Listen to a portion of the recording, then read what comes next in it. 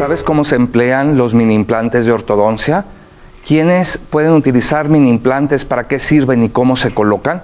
El día de hoy tenemos este interesante tema que es muy actual y bueno, quiero que te quedes conmigo porque te voy a explicar los aspectos más importantes en breve tiempo. Mini implantes para ortodoncia, que en realidad son otra forma de anclaje. En esta imagen podemos nosotros ver un paciente al cual tenía sobremordida horizontal, es decir, los dientes de arriba muy salidos y el paciente requería de extracciones de primeros premolares para poder corregir su problema. El paciente ya llegó con extracción de un segundo premolar de un lado y del otro lado tenía una corona, un endoposte y una endodoncia en un segundo premolar, pues me comentó, doctor, me va a quitar la corona, el, eh, eh, el, diente de porcelana mejor, en lugar de quitarme un diente virgen, un diente sano, y yo ya perdí el segundo premolar del otro lado, entonces para resolver mi problema de sobremordida voy a perder también los primeros premolares. Entonces, bueno, en este aspecto eh, eh, opté hace aproximadamente unos 16 años por colocarle mini implantes tanto del lado izquierdo y del lado derecho para aumentar el anclaje. Una forma de aumentar el anclaje y conseguir un anclaje absoluto es la colocación de mini implantes de ortodoncia, ya que estos no tienen un efecto sobre la parte donde se sostiene la liga, la cadena o donde estoy retrayendo los dientes de adelante cuando se sostienen del implante, porque el implante va directo al hueso.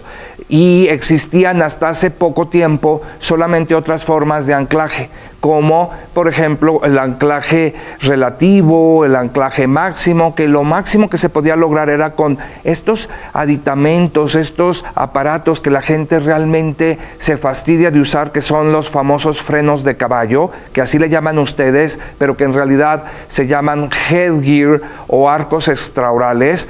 Y aquí el problema está en que queremos retraer al máximo ese primer premolar para que se ocupe el espacio de lo que son los segundos premolares y sí efectivamente hacerle de una vez el favor al paciente y quitarle ese diente que ya tenía endodoncia, endoposte, corona, estaba multitratado y entonces dejarle dientes vírgenes, dientes naturales al paciente. En la parte de abajo, eh, bueno, en las fotografías podemos ver que también se le puso un anclaje en el paladar. En el centro podemos ver ese mini implante en, en el centro del paladar. Y a mí, por ejemplo, en ciertas ocasiones me gusta además colocarle un, digamos, una cobertura, un protector para que esa cabecita de implante no vaya a eh, invaginarse, a meterse en la encía, que se vaya a, que vaya a producir una inflamación, una irritación.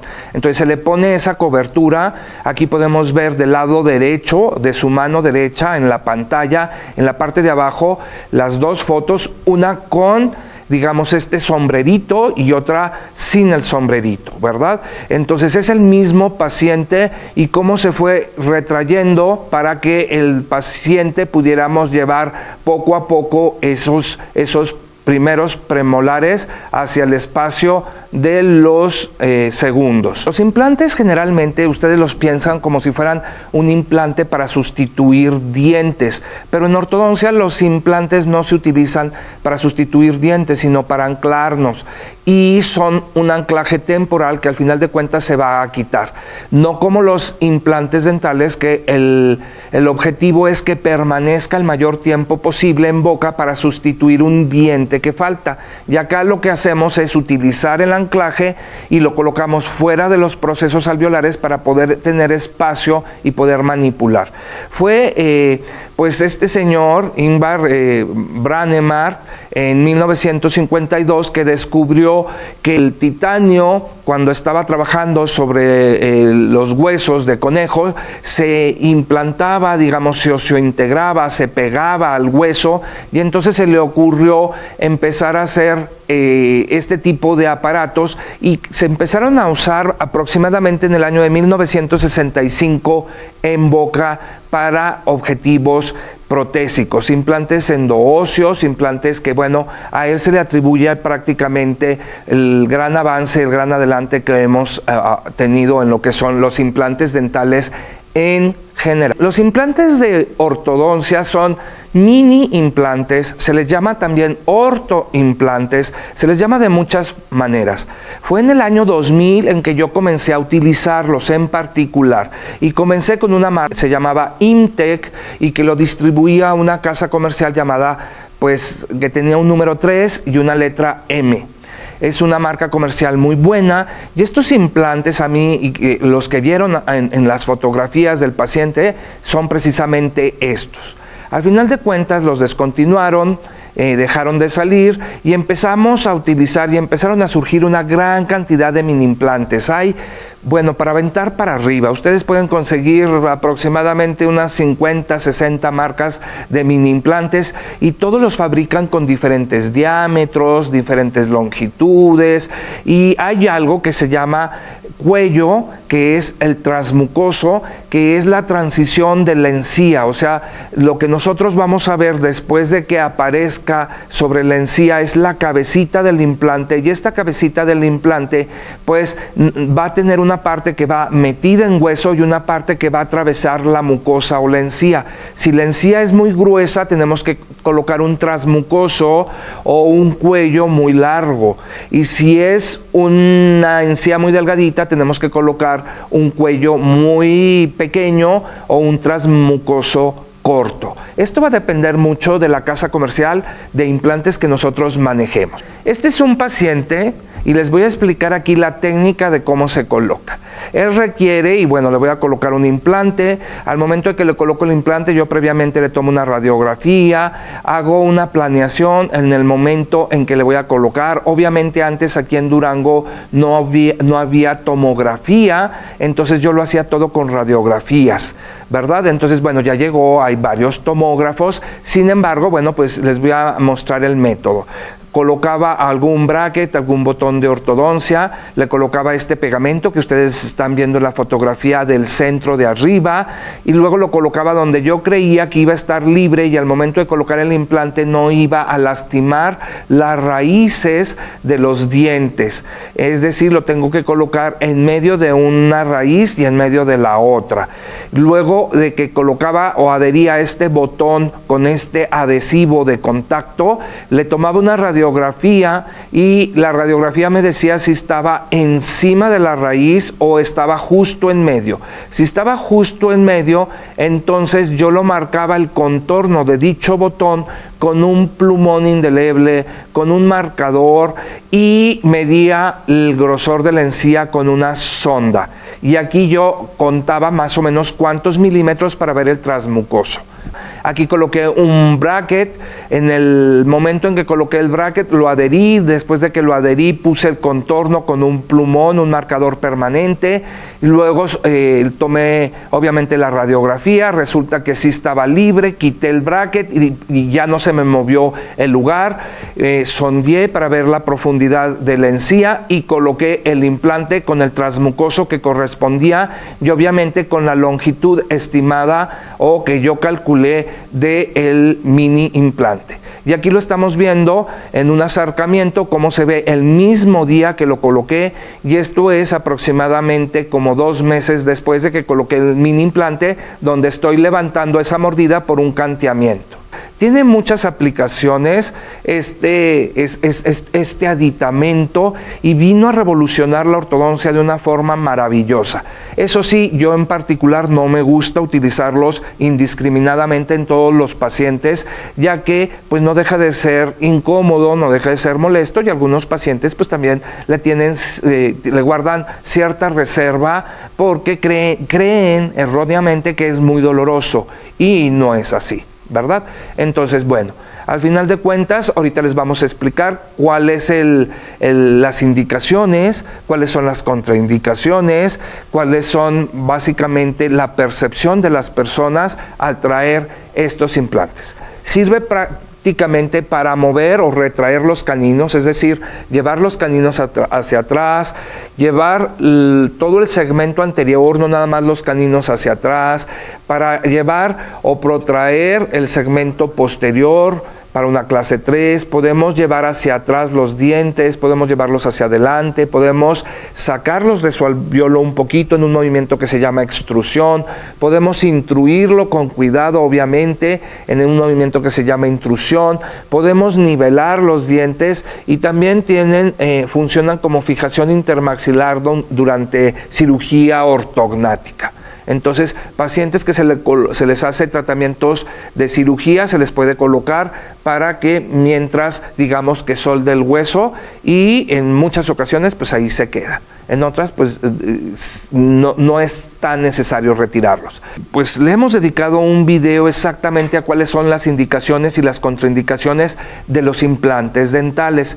Y las indicaciones y contraindicaciones aplican exactamente igual para los mini implantes de ortodoncia que para los implantes dentales. Los eh, mini implantes están contraindicados en personas que no controlan su higiene, que tienen una enfermedad en la encía llamada eh, periodontitis, así como también tienen una son alérgicos o tienen una, un historial de hipersensibilidad o alergia al material del cual está fabricado el mini implante, que generalmente la mayoría están hechos de titanio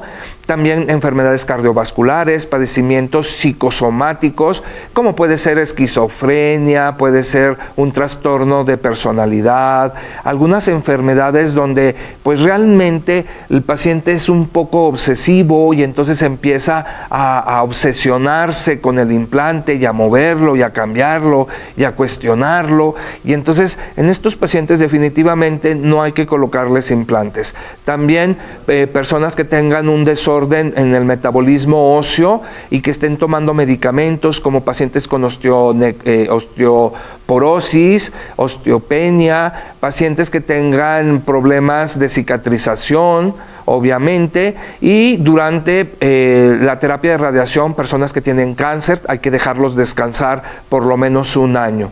Y también cuando vamos a colocar un implante en una zona y en esa zona hay una infección, entonces tiene que estar higiénicamente el área donde nosotros vamos a colocarlo y está contraindicado usar mini implantes en zonas donde hay infección. En la siguiente fotografía vamos a ver otros factores que debemos de considerar.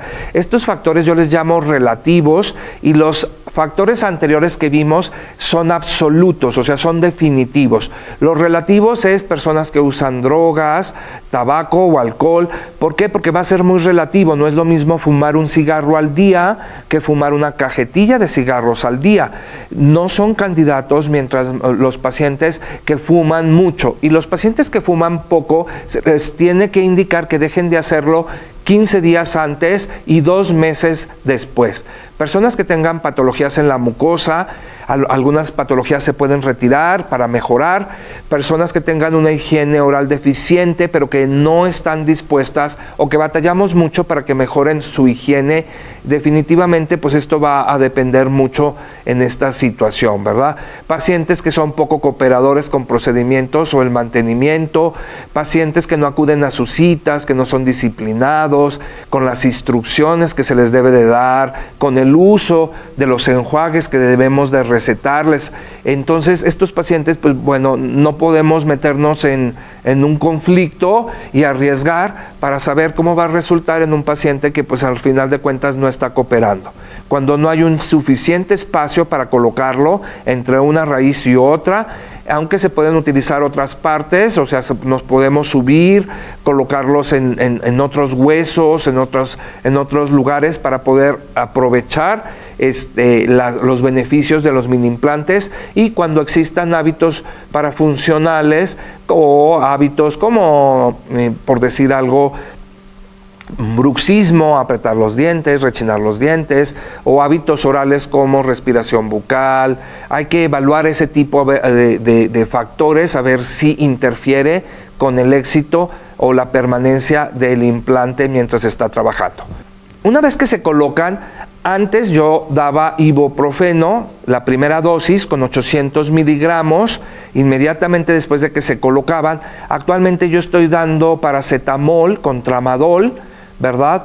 para eh, no interferir con lo que es las prostaglandinas que nos ayudan en, el, en, la adaptación del mini implante. Entonces, en realidad, yo he cambiado de, analgésico, el ibuprofeno es un analgésico, y bueno, pues eh, la primera dosis se la damos doble al paciente, ya después le damos eh, cada 8 horas aproximadamente 400 miligramos. Si es eh, paracetamol, pues yo les doy 500 miligramos. Se les recomienda usar incluso antes de la colocación del implante un gluconato de clorexidina que viene generalmente en enjuague al 12% dos veces al día durante 20 días posteriores a la colocación del implante.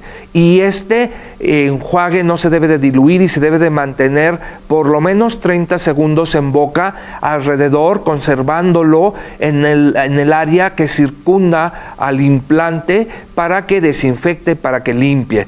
Y todo esto, pues también hay, hay, que hacer que el paciente evite contacto con la lengua, con los dientes, eh, con los dedos, perdón, para que no esté ahí eh, molestando el implante. No comer cosas duras o pegajosas cerca del área del implante y en cualquier caso de o cualquier eventualidad llamar al consultorio. Este es otro de los usos que tiene o que le podemos dar a los implantes. Vemos en la fotografía de arriba cómo coloqué un implante en la parte izquierda del paciente derecha de su pantalla, en la parte de arriba, en un extremo, y ahí se ve que va una cadena como de un color azul leve, lo que va aproximadamente del arco del canino hacia el mini implante que va en, la parte retromolar, y abajo se colocó un implante eh, también, o sea, en los dientes de abajo, eso se puede ver en el área de la fotografía del lado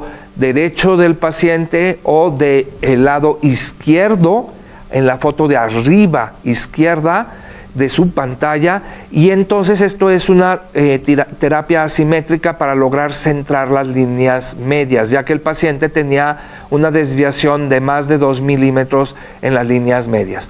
Tengo también aquí en mi canal de YouTube, Clínica de Ortodoncia Avanzada, una un video acerca de lo que son las asimetrías, tenemos otro video de lo que son los anclajes en ortodoncia, qué tipos de anclaje hay, y es por eso que quise traer estas fotografías de implantes. Se va cambiando la cadena, se va haciendo una tracción leve, se van controlando las fuerzas. Y aquí en este paciente que en realidad yo me veía un poco confundido porque decía, bueno, como ya, ya había cerrado los espacios de las extracciones y me habían quedado las líneas medias dispares, una por un lado y otra por otra y estaba pensando, bueno, ¿Cómo lo voy a solucionar? Pues bueno, benditos implantes que me ayudaron a, poder centrar esa línea media. Y en la fotografía de abajo, las fotografías de abajo, como pueden ver cómo se han ido recorriendo los dientes de arriba, todos hacia el lado izquierdo y los dientes de abajo hacia el lado derecho. Y esto va a hacer que caigan, caigan en línea media los dientes. La línea media dental se está nivelando. Este es el mismo paciente al momento en que se le colocaron los mini implantes de ortodoncia. Vean ustedes la línea media. En la foto del centro es al mes de la colocación de los mini implantes y en la fotografía que estamos viendo a su mano derecha o del lado derecho de su pantalla, aquí podemos ver dos meses después cómo prácticamente hemos solucionado la asimetría o la desviación de la línea media. Esto es uno de los muchísimos usos de mini implantes en ortodoncia.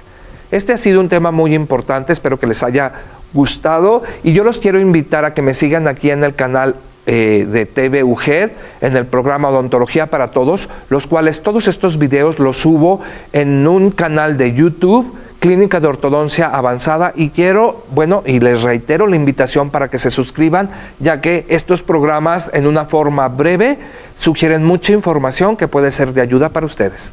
Nos vemos la próxima semana. Hasta luego.